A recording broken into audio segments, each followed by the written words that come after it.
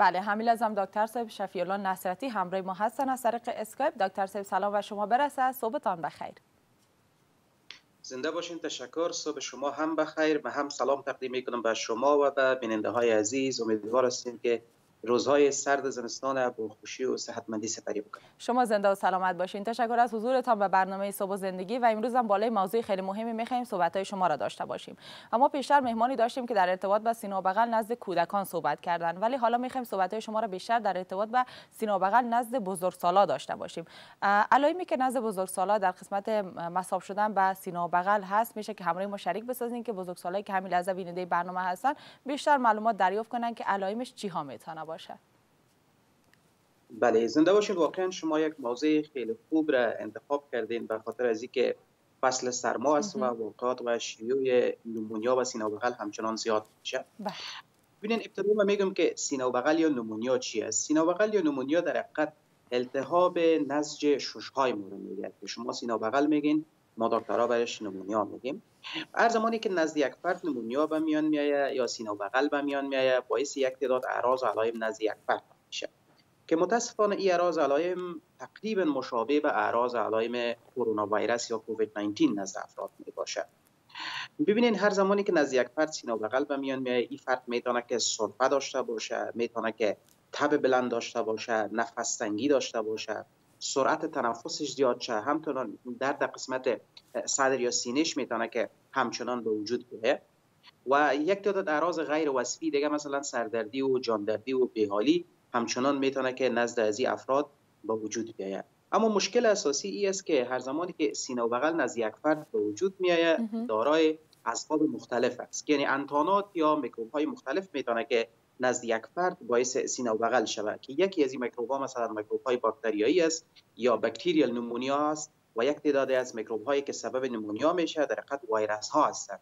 در جمع ویروس هایی که سبب نمونیا نزد یک فرد میشه کرونا ویروس ها یا کووید 19 همچنان است. یعنی کرونا ویروس هم یکی از اسباب ویروسی نمونیا نزد کاهلا است که باعث اعراض مشابه را که من ذکر کردم که متب و سرفه و نفس تنگی و احساس قید شدن نفس و سرفه قبلا برتان و همچنان افزایش تعداد تنفس یا نفس زدن همچنان میتون نزدازی موجود باشه و درد سینه همچنان میتون نزدازی موجود باشه دقیقا استاد نکات مهمی را اشاره کردین. حالا ما داریم حتی کسایی که دوست ما هستن از همکارای ما هستن وقتی همراهشان در تماس هستیم و اونا در بستر بیماری به سر می‌برن و بعضی از علائمی را دارن که نشان دهنده کرونا است اما دکتر صاحب در این راستا با اونا مشوره دادن و گفتن که علائم کرونا نیست و شما مبتلا شدین به مریضی مورقه یا سینه بغل خیلی سختی را شما سر دچار شدین.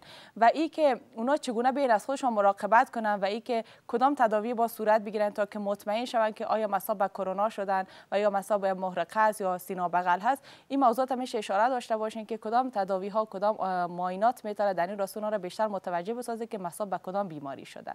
چرا که بعض دکتر صاحب واقعا متوجه موضوع نیستن و شاید هم نفهمن که اعراض علائم به کدام مریض زیادتر بستگی داره.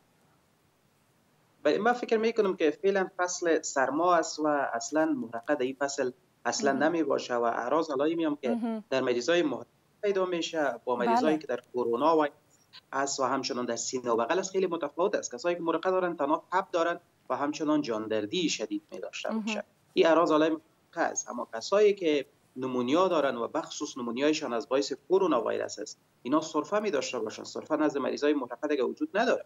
همچنان نفس تنگی نزد مریضای مرقه وجود نداره. بله. درد سینه نزد محرقه وجود نداره. و همچنان ما در فصلی که قرار داریم فصل سرما فصل شیوع ویروس کرونا و همچنان تمام نمونیا ها است از بابی که باعث نمونیا میشه من قبلا هم گفتم بعضی انتانات باکتریایی مثلا بناوش نمی‌گیریم زیادتر. و همچنان بعضی انتانات ویروسی مثلا انفلونزا یک ویروس است می‌تونه باعث pneumonia نزدیک فرد شود. که دو شکل داره انفلونزا تایپ 1 تایپ 2 همچنین یک تعداد ویروس های دیگه مثلا adenovirus rhinovirus و respiratory syncytial virus یا ویروس ها هستند و در جمع ویروس ها یکی از ویروس ها کرونا است که می‌تونه که سبب pneumonia شود یعنی corona induced pneumonia شود یا corona related نمونیا نزد افراد شود. این که با مرقه چطور تشخیص تفریقی میشه خیلی ساده است. و مشکل اساسی است که ما نمونیایی را که از باعث یا سینا بغلی را که از باعث سایر ویروس ها یا سایر باکتریا ها به وجود آمده و از باعث کرونا به وجود آمده. خیلی مشکل است که ما تشخیص دقیقی بکنیم. خاطر از اینکه یک تعداد اعراض علائم خیلی ها مشترک دارند که تقریبا یکسان است. ببینید تب داره سردردی داره جاندردی داره نفس داره سرفه داره ضعف و بیحالی داره. اینا تمامش است ما فقط چیزی را که در نمونیا نداریم یعنی در سینه بغلی که از باعث سایر باکتری ها یا ویروس هاست نداریم اما اگر از باعث کرونا باشه داریم. اوی است که در زمانی که کرونا می باشه یک فرد حس بویایی و ذائقه خود را از دست میده. اگر از باعث کرونا نباشه حس بویایی و ذائقهش از دست نمیده. ما یگانه راه تشخیصی همی داریم که اینا را فرق بکنیم که ما از گلوی زی افراد یک نمونه بگیریم و این نمونه را PCR بکنیم. مگر در PCR ما ویروس کرونا مثبت آمد. ما بگیم که این pneumonia سینه بغل از باعث کرونا اگر کرونا مثبت ما میگیم که سایر هر میکروبی که بالاخره در culture ما دیده شد ما میگیم که از باعث از اون میکروب است. اما خوبی است که تمام افرادی که در خانه این اعراض علائم پیدا می‌کنن اینا فکر بکنن که کرونا هستن خودشان قرنطین بکنن از ماسک استفاده کنن چون موج سوم کرونا در حال آمدن است حتی آمده و خیلی هم در کشورهای مختلف خصوصا همچنان زیاد شده. کسایی که در خانه هستند باید مراقب باشند بخصوص مراقب افراد سالمند خانواده باشند کسایی که سنشان از 65 سال زیاد است. کسایی که مثلا امرای نفس تنگیشان یا امرای سرفه و تبشان مثلا مشکلات دیگه دارن. مثلا تاریخچه فشار بلند خون دارن مشکلات گرده ها شکر یا دیابتس دارن یا ایدز دارن یا زردی سیاه دارن یا روماتیسم مفصلی دارن. اینا یا توبرکلوزس دارن سابقه. اینا تمام امراضی است که باعث ضعف سیستم معافیتی از یک فرد میشه. پس کسایی که بخصوص در خانه هستن و, و این اعراض علائم پیدا می‌کنن کوشش کنن که از افراد سالمند خانواده دور باشن و اونا را هم حتما ماسک بپوشانند خودشان هم ماسک بپوشن و اگر بعضی علائم و نشانه ها نزد افراد سالمند خانواده بخصوص کسایی که سنشان بالاتر 65 سال است پیدا میشه اینا را حتما باید نزد دکتر ببرن. مثلا هر وقتی که یک فرد سالمند خانواده یا بزرگسالی که سنش بالاتر 65 سال است اگر سرفه پیدا می‌کنه و امراض نفس تنگی شدید پیدا می‌کنه حتما باید با دکتر مشوره صورت بگیره و به یک مرکز صحی انتقال داده شود. کسایی که فشارشون سقوط می‌کنه باید نزد دکتر برده شوند. کسایی که امرای علائم سینه و بغل اینا شورشون بر هم می‌خوره یا احساس گیچی و گنگسی پیدا می‌کنن یا کاملا شورشان از دست میدن. اینا باید حتما نزد مرکز صحی برده شوند تا یک بار ارزیابی شوند از نظر از که چی اقدامات دیگر ازشان ضرورت است. دقیقا. زنده و سلامت باشین استاد محترم. بسیار از هموطنان عزیز ما ما شاهد هستیم در هنگامی که مبتلا میشن به مرض سینه و بغل از دوای خودسرانه استفاده می‌کنن یا از دوای یونانی زیادتر استفاده می‌کنن. شما توصیهتان در این راستا چی است؟ ببینین استفاده از آنتی بیوتیک ها به شکل خودسرانه بر علاوه از اینکه بر ما فایده نمیرسانه باعث ازرار گوناگون و ساید افکت و عوارض گوناگون نزد یک فرد میشه. شما بعضا ببینین شما خودتان مریض میشین چندین بار میرین از دواخانه دوا می‌گیرین می‌گیرین بله. می‌گیرین چند قلم دوا پیچکاری می‌گیرن. خوب نمیشه. بله پیچکاری همچنان می‌گیرن. و ببینین شما چندین بار دوا می‌گیرین و خوب نمیشین. اما یک بار که پیش دکتر برین در شما چندین آنتی گرفتین خوب نمیشین.